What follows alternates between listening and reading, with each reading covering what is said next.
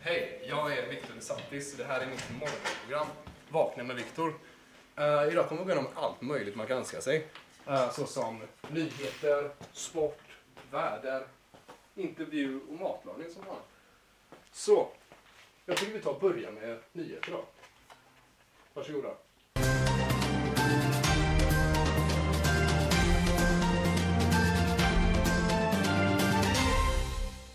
Välkommen till nyheter.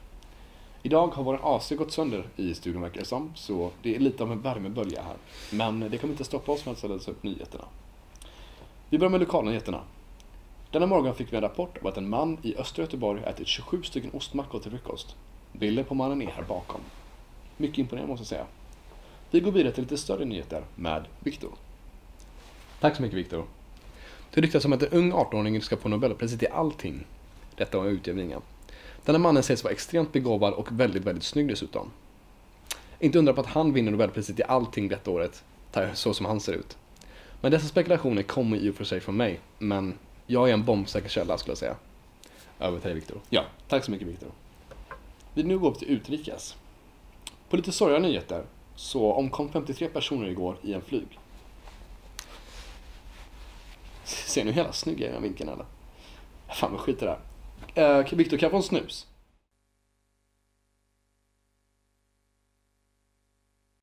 Tackar. Jajamän. Uh, nu går vi direkt till sporten istället.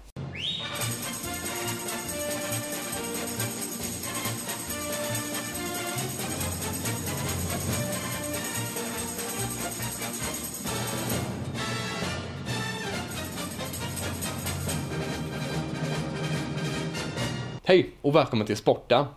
Zlatan Ibrahimovic känner ni alla igen. Men idag fick jag se sig besegrad utav yours truly här. Jag knyckte upp en pappersboll och sköt den i en papperskorg. Det tror jag nog aldrig Zlatan gjort, kan ni fan på. Kolla in klippet här.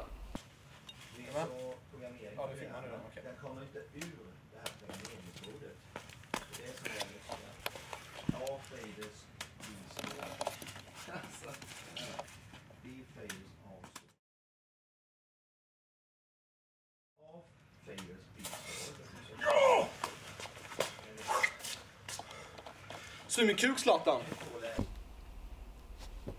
Sveriges hockeylandslag förlorade igår mot Finland 3-1. Så går det när Sveriges hockeylandslag inte har några jävla bra spelare i deras lag. Det finns ju inga roliga nyheter för tiden inom sporten. Alla lag är så jävla dåliga. De behöver en riktig talang. Ja, det var allt från sporten i alla fall. Nu vidare till vädret.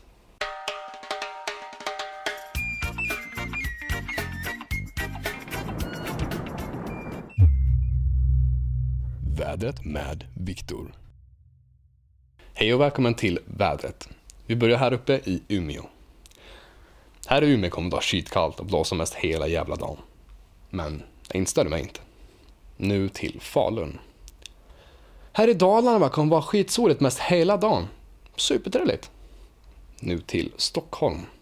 Så här i söder kommer det vara jätteotrevligt väder. Alltså det kommer regna och blåsa hela dagen. Hur oskönt som helst nu till världens bästa stad. Där. En sekund. Jajamän, här i Göteborg kommer det vara blå himmel och små vita moln. Alltså, blåvitt då. Nu till Danmark, mer specifikt Malmö. Ja, här i Malmö kommer det vara gott väder. Solen kommer att skina, så ta en påg och ta traktorn ner till stranden och njut. Det var allt från vädret. Nu blir det reklam.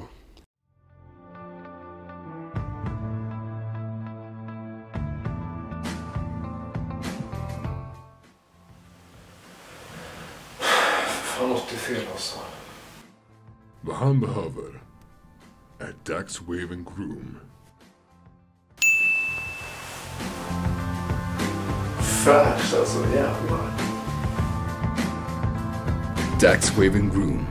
I affärer, idag. Ska vi börja prata om din barndom? Ja, absolut. När jag var ung så dog min mamma och eh, farsan väl överbeskyddande sen dess. Men ändå så lyssnade jag inte på honom och eh, jag blev kidnappad. Uh, han letade efter mig väldigt länge och han hittade mig till slut med, uh, med hjälp av Doris hette hon. Men Inte, inte det Hitta Nemo? Just, just det, men... Så här var det. Min eh, pappa blev en dag mördad av, eh, av min farbror och eh, jag flydde hemifrån. Jag, jag hade aldrig klarat mig om det inte var för mina vänner. Timon och Pumba. Snälla, det är ju Lejonkungen. Just, just det. Så, men så här, så här var det. Jag var föräldralös när jag var liten och eh, jag hade klarat mig ensam om inte jag fick bo hos mina vänner. Butter, Prosit, Glader. Ja, välkommen tillbaka. Nu ska vi vidare till Victor DeSantis med matlagning. Tack så mycket Victor.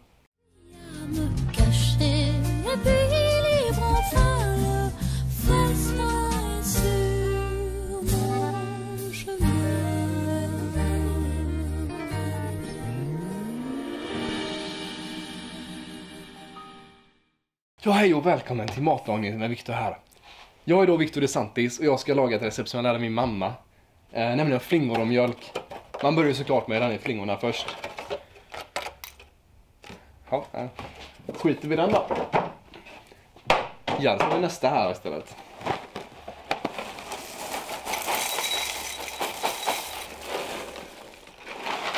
Mm, underbara. Sen så tar vi mjölken här. Och den måste man ju lukta på först så man kollar så att det inte är sur. Och det var den inte heller. um, doftar lite som eh, blåmögelost och citron. Men folk gillar ju citron så det är ingen fara med det. Mm, vad gott. Här är vi mjölken här. Så här. Sen saltet på det.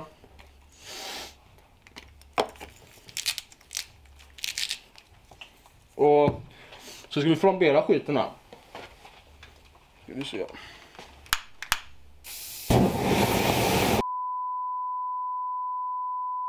För några veckor sedan så rasade en byggnadsställning i Avenyn i Göteborg. Vi har med oss en gäst idag som inte bara är otroligt snygg utan dessutom varit med i denna kraschen. Så var du i fara när ställningen kraschade? Så, inte egentligen, men jag var några kvarter bort du vet, men jag lyckades ändå rädda flera personer. Så det var du som var orsaken till att ingen omkom?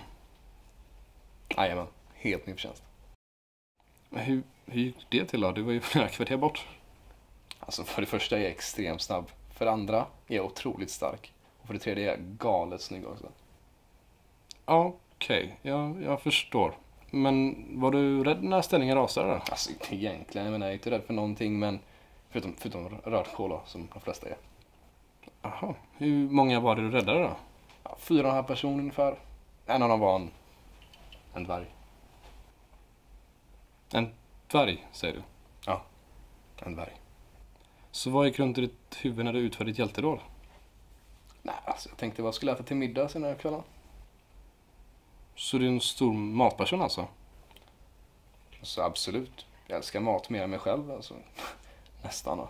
Jaha, men perfekt. Då tycker jag vi återgår till kocken Viktor och får se hur det går för han.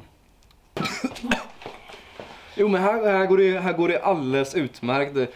Lite små tekniska fel med den här komplicerade rätten. Och, men det är, det är sånt som händer. Alla där ute ska veta när man bara lagar mat. Vet ni.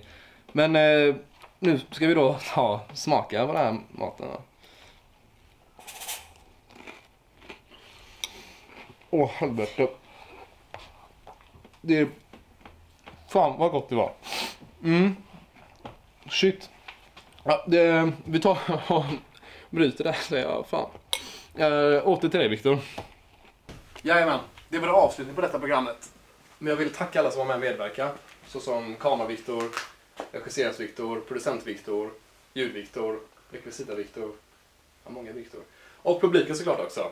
Som består av eh, Viktor, Viktor, Viktor, Viktor, Viktor, Viktor och, och Viktor också såklart.